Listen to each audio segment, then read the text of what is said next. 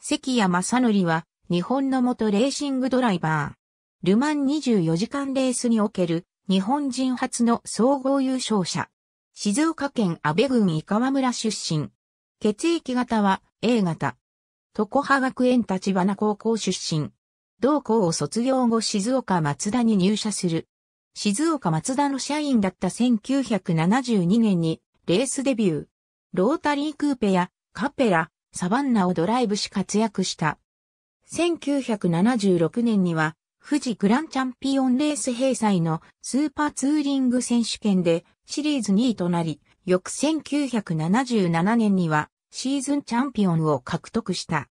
1978年には富士グランチャンピオンレースにステップアップし、1981年まで参戦した。1982年には都営し、イギリスのフォーミュラアトランティック選手権に参戦し、6戦中5戦で入賞する活躍を見せた。トヨタ 90CV トヨタ TS010 ルマンの地に残る1995年優勝者の手形イギリスから帰国した1983年にはトヨタ系の名門チームのトムスと契約し、1984年には全日本耐久選手権に参戦した。1985年にはトムスよりルマン24時間レースに参戦し、その後合計11回参戦する。1986年からは、レートンハウスのドライバーとして、日本のトップカテゴリーの全日本海3000選手権や、全日本ツーリングカー選手権、全日本スポーツプロトタイプカー耐久選手権などで活躍した。さらに1989年には、全日本スポーツプロトタイプカー耐久選手権とルマン24時間レースに、レートンハウスのポルシェ 962C で参戦し、同年の富士 GC 最終戦では最後の勝者となった。このようにトムス及びレートンハウスの顔として活躍したが、バブル景気が崩壊し、1991年9月11日にレートンハウスのオーナーの赤木明が富士銀行不正融資事件で逮捕され、レートンハウスの活動は同年をもって休止となった。翌年も全日本海3000選手権に参戦しつつ、1992年のルマン24時間レースではトヨタ TS010 をドライブし、総合2位の成績を上げた。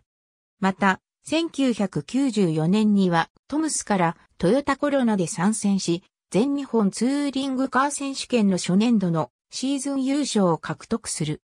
1995年のルマン24時間レースでは、ヤニック・ダルマスと JJ レートとチームを組んで、マクラーレン会 1GTR をドライブした。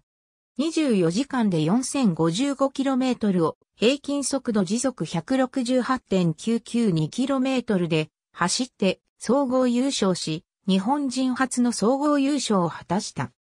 インタープロとその後も、全日本ツーリングカー選手権や全日本 GT 選手権などの日本のトップカテゴリーで活躍するとともに、1996年には国際ツーリングカー選手権にスポット参戦した。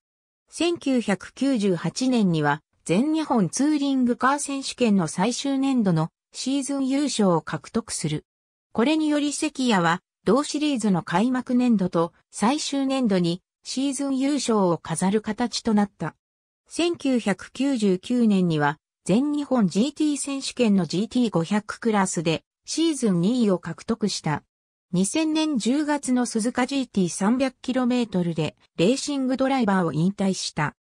引退後は古巣のトムスチームの監督や最も古い JAF 公認クラブのトヨタモータースポーツクラブの役員を務めるほか、フォーミュラトヨタレーシングスクールの校長を務めるなど、若手レーシングドライバーの育成や、モータースポーツの振興に努める。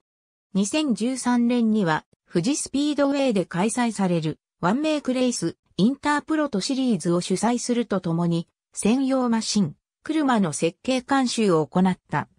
また、2017年には、女性限定レースのセリオンナカップも開催しているなど、日本のモータースポーツの振興にも活躍している。ありがとうございます。